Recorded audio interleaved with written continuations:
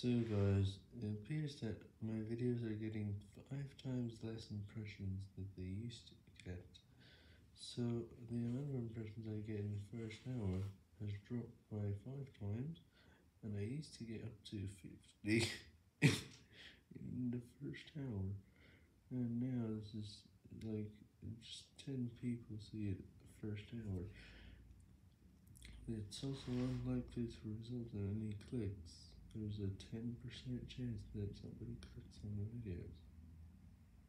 As a result, some of my videos get no views for hours.